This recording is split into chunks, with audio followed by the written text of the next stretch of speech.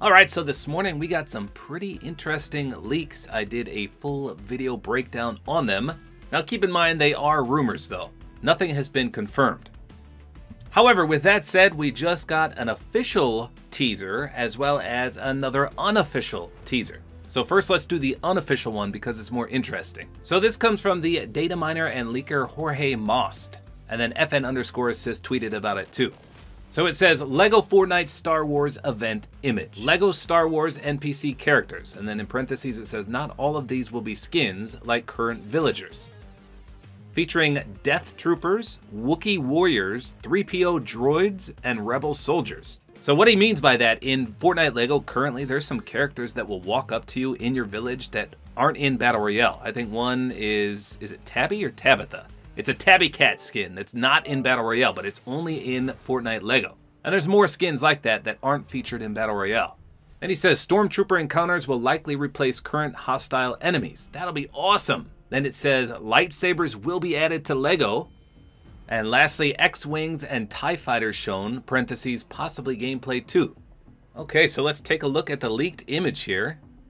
So there's a lot going on, including a bottom half that got cut off. So you can see Peely and what appears to be a stormtrooper fighting with lightsabers. And then all the LEGO characters, including Chewbacca on the left there. And you can see the ships fighting in the background as well. So this is awesome. That pretty much confirms 100% that Chewbacca is coming. So if this turns out to be real, I'm pretty excited for this. I know a lot of you don't like LEGO, but I've grown very fond of it. It's a fun game mode to just relax in. Sometimes I'll just get completely lost in it. I'll play thinking it's only been 30 minutes and then three hours have gone by. It's crazy. So that was the unofficial teaser. Now we've got the real teaser. This comes from Fortnite Festival themselves. Not to mention the in-game news feed, as you can see right here. It says new season April 23rd. Fortnite Festival Season 3 arrives on April 23rd. Complete quest to unlock rewards, wrap up the festival pass, leave your best on the stage before leaderboards reset next season. So everyone's freaking out about this because apparently green is associated with Billie Eilish. She likes to wear green a lot, I guess. I'm not 100% in the know about that, but apparently everyone says that this means Billie Eilish is coming 100%. Now, if you saw my video before about the leaks this morning, that was what the roadmap said. Billie Eilish is next, then Metallica. So people are saying this now 100% confirms that everything in that roadmap image was true.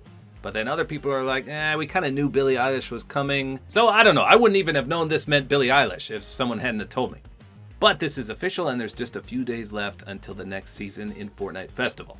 So there you go. Let me know in the comments what do you think about this. I'm excited for this Star Wars collab and it sounds like it's going to be awesome in LEGO as well. Likewise, I'm ready for a new season in Fortnite Festival. So there you go, that's all there is to it. Hopefully you guys enjoyed this video. A like is always appreciated, and don't forget to use my supporter creator code, which is Tabor Time.